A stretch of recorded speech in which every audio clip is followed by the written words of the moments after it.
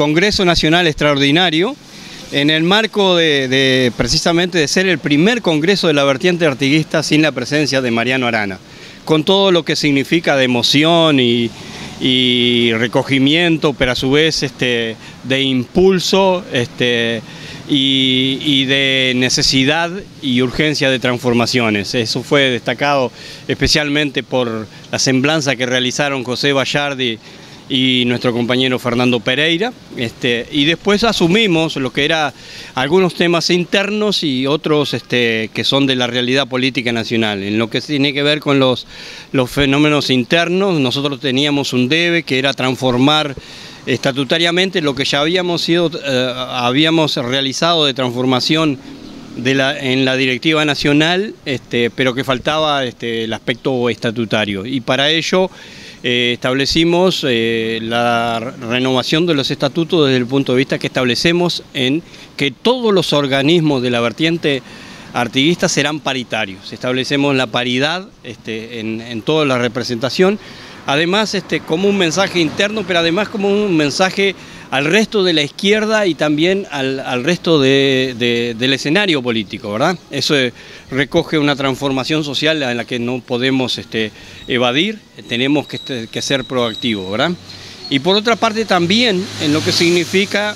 este, una renovación generacional en lo que es la representación de, la vertiente artiguista. Nosotros vamos a concurrir por primera vez a un este, escenario electoral sin Mariano Arana, decimos, sin Enrique Rubio, sin José Bayardi, sin Martín Ponce de León, este, que evidentemente eso significa que debemos dar un mensaje y un espacio a la renovación generacional. Y nosotros lo asumimos definiendo allí este, que la dupla que estará encabezando la propuesta de la vertiente artiguista a la Convención Nacional dentro de las eh, elecciones internas este, del, Frente Amplio en junio del próximo año, que será encabezado por el compañero Edgardo Ortuño y la compañera Amanda de la Ventura, ambos este, con, con, una trayectoria bastante extensa, pero siendo una transformación generacional y recogiendo precisamente este, elementos que nos parecen una propuesta innovadora. Por otra parte, damos, damos espacio a minorías postergadas, este, en lo que significa la,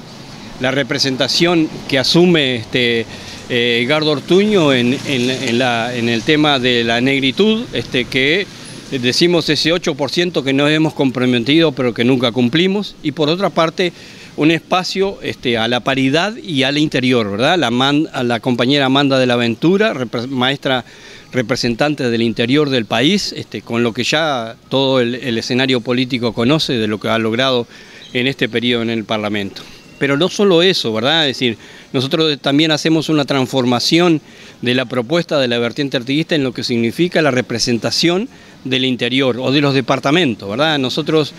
para ello transformamos este, la directiva nacional ampliando su número de 35 a 51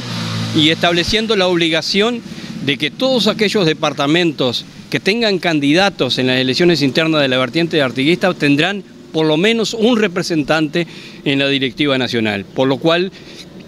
lo que estamos diciendo es que estamos reconociendo este, el, crecimiento de la vertiente artiguista y sobre todo el crecimiento este, en el interior del país. No dejamos de de tomar lo que son este, los problemas nacionales tampoco allí, este, y nosotros nos expresamos nuevamente, ya lo habíamos definido por directiva, pero ahora por Congreso, de que nosotros estamos en contra de la convocatoria del plebiscito para este, eh, derogar la, mal llamada ley de previsión social, de transformación del escenario de las jubilaciones y pensiones en este país. Nosotros estamos de acuerdo con lo que fue la apuesta realizada por el compañero Fernando Pereira desde el Frente Amplio el 26 de marzo, en que decimos que una ley se deroga con otra ley, este, pero creemos equivocado el, tema de plantearlo, este, incluirlo en la Constitución. Este, la Constitución tiene que ser